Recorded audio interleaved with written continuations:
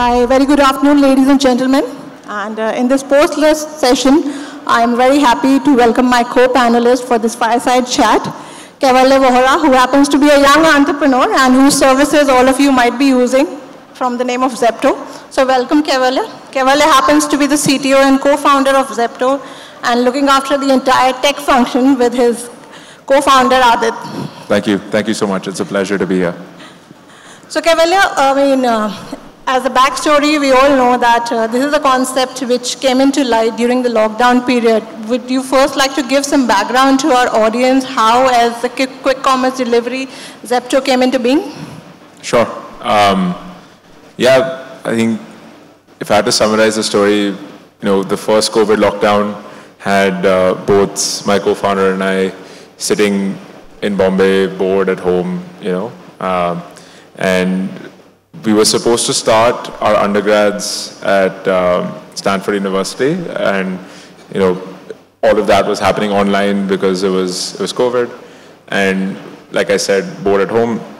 And one of the things that ended up being a pretty common problem that we noticed uh, everybody around us, like family, friends, you know, was this whole uh, grocery problem in, in the first lockdown where people weren't able to get basic essentials because a lot of the online platforms were taking six or seven days to deliver, and your local stores, a lot of them had gone back to the village. And so um, we set out initially just to solve that problem for people in our neighborhood. So we would literally get into auto rickshaws and deliver to our neighbors. Like that's what we were doing.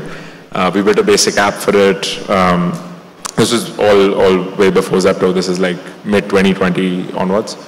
Um, and you know, we realized that, hey, with this delivery thing, there's clearly some part of this market that seems to be unserved. There's a problem here to be solved. And so we started playing around with that idea a little bit more, uh, tried many different ways of solving that problem. And then in uh, 2021 is when we, um, one of those ideas was Zepto. Uh, you know, this whole 10 minute delivery, quick commerce, you know, micro warehousing type solution.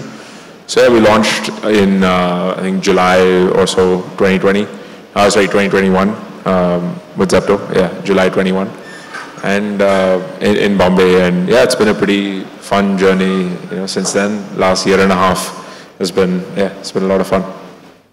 So tell me, what is the tech behind this 10-minute delivery concept? We're all keen to know about it. Yeah, uh, I mean, there's a lot. Um, I'll, I'll just give a few examples because I don't want to take up like an hour or two just talking about it. Um, I think just to, if you just think about what happens to make a delivery possible in 10 minutes, um, you know, obviously you have the whole customer facing side, you have to build an app and all of that stuff, but that's like table stakes now, like that's not crazy complicated anymore. Um, but once you as a customer has added five or 10 things to their cart and they go make a payment, right? You've got 10 minutes then to ring their doorbell, right? And, and 10 minutes is not a very long time, obviously. And so there's a lot that goes into that. Um, everything from, you know, uh, allocating a packer and a delivery partner, immediately navigating the packer through the warehouse in the most efficient path.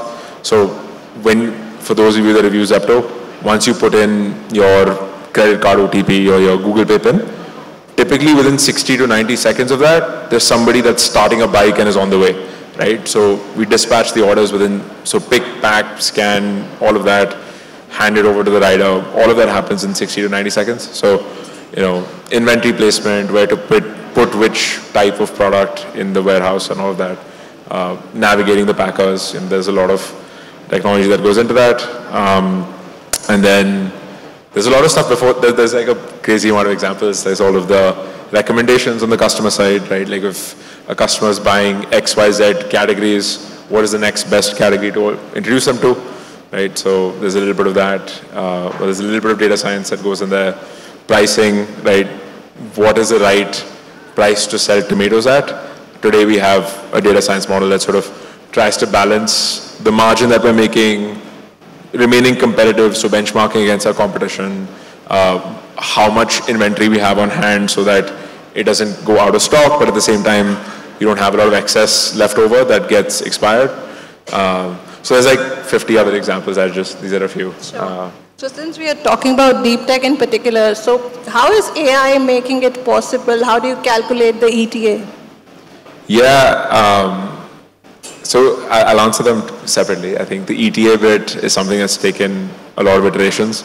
Um, we leverage like a lot of third parties there as well. So like the likes of Google Maps and, and so on um, to get real-time traffic data because I don't think there's anybody doing as good of a job as them. So we leverage sort of Google Maps there. Um, but AI more generally or machine learning more generally, I think there are a few examples. So pricing was one example.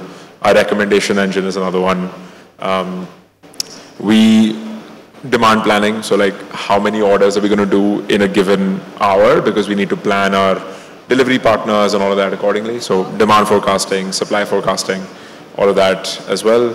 And then, um, so we have, uh, the way the business works is that we have a bunch of these dark stores in a city, but we also have large mother warehouses in the outskirts of the city. And those mother warehouses replenish the dark stores every night, right? Now, what is the right size truck to use? Should, it, should we use a Tata Ace or a Tata 407 or some other truck, right? So that its space is utilized most efficiently for that particular shipment. That's another problem that we're sort of solving right now uh, using some, it's not a very complicated problem to solve, but some basic machine learning. So these are a few, right, uh, that have happened recently, but yeah, I'm sure that there'll be a lot more over the next few months that we'll be solving using AI. Sure. So as a tech entrepreneur in India, what has been the toughest part of building Zepto? The toughest parts of building Zepto the toughest parts of building Zepto in India? In India in particular, In India. Yeah, uh, yeah I, I don't know how much I'll be able to share. There's a lot of, when you're doing any kind of offline business in India, I think um, there are some things that are just the cost of doing business in India. So um, I won't share any direct examples, but for example, when Uber launched, right, like they faced a lot of trouble. Um, and, and, you know, for us, you know, with setting up these dark stores, particular neighborhoods, particular geographies throughout the cities that we're in, you know, there are some things that are just like, you have to deal with them just because of the cost of doing business in India. I won't elaborate more there. Um, but there's stuff like that, right, which is kind of annoying, uh, but it's fine. Like you, I think you just have to learn to live with that. I think apart from that, it's pretty good. Like I think ease of doing business-wise, I think India's you know pretty good. Um, no no major complaints there. Yeah, I think there's just like anything. If we were running a SaaS business, then maybe we wouldn't face any of this. But yeah, anything where there's like real people on the ground doing things, um, I think some of these you know minor challenges start to come up. But yeah, no, on the whole, it's it's not been it's not been that bad. In fact, I think that if we wanted to build a business like this, so even markets outside of India, you know, the US and Europe, etc., uh, there's a fair share fair share of challenges there as well. Uh, you know, I think if you look at businesses like Amazon, etc., right, like it's not that easy there either. And so I think relatively India is actually in a pretty good place in terms of how easy it is to build a business here. Um, so no, no, no major complaints. And uh, we were having this recent debate about the safety of the driver partners with yeah. quick commerce companies have on board. So, I mean, how are you ensuring their safety in yeah. the time of delivery? This is, this is the media's favorite question. I, I, I love this one. Um, uh, so, yeah, I think it's, there's a very big difference between the perception of what goes into making a delivery happen and what actually happens on the ground. So um, there are two parts to it. One is that the average distance that is Zepto delivery partner is traveling is like 1.6 kilometers or something like that, right? And like I said earlier, we typically dispatch the order within like 60 to 90 seconds. And so they have like, you know, 8, 10 minutes to drive to your house and covering 1.6 kilometers in 8-10 minutes is actually a pretty comfortable riding speed, like significantly slower than the average speed on most roads in India. That's one. And so most of them actually don't have to go very quickly. Uh, the second thing is that, um, you know, most accidents, if you look at where they happen, happen on larger highways and main roads. Given that our dark stores are situated within neighborhoods, like predominantly the roads that our riders are driving on are smaller internal neighborhood roads, right? Uh, where there isn't, there aren't as many other cars and as many other bikes, and so the likelihood of accidents is way lower, which is by the way demonstrated in the fact that, so most delivery companies measure rider safety and things like that by accidents per million kilometers, right? And ours is like less than half of where like a lot of food delivery businesses are and things like that. So a good chunk of our model is just inherently safer. And finally, um, given the distances are so short, we're now a pretty significant chunk of our delivery fleet is actually on uh, bicycles and e-cycles and things like that, right? And that number is on, only going to continue to grow.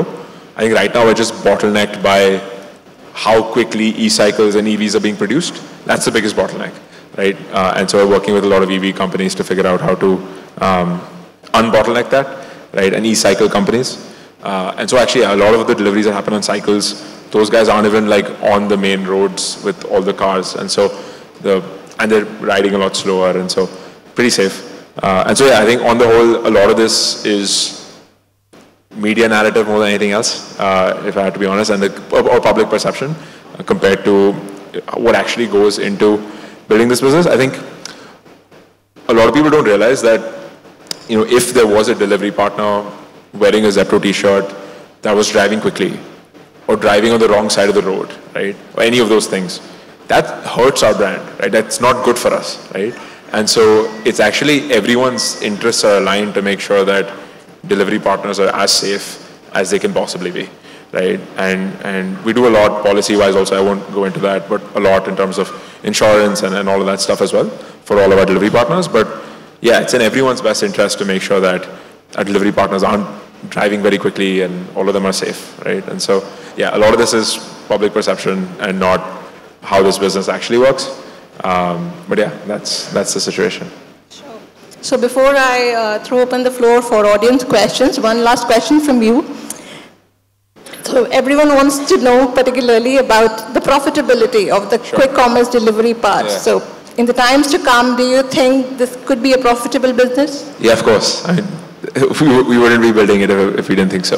Um, I think one thing that I'll say, so um, a lot of the businesses that were built over the last 10 years, not just in India, but globally, uh, the macro was very different. It was like zero interest rates, you know, you can raise capital very quickly and uh, a lot of people refer it refer to it as the growth at all costs type era, and, and now things are different. We also started our business in that era.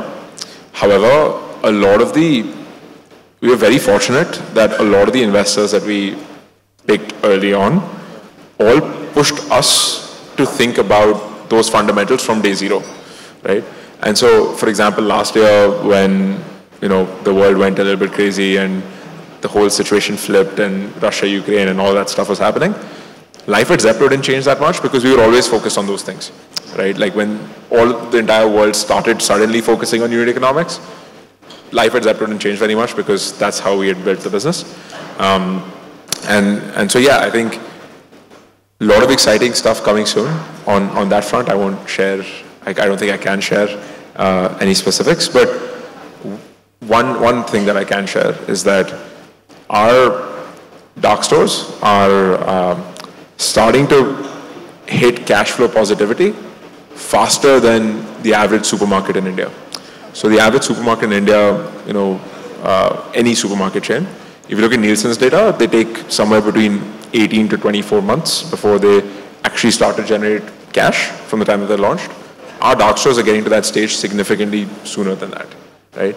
Uh, I don't know how much I can share about, you know, our PNLs in aggregate, but that's one thing that I can share.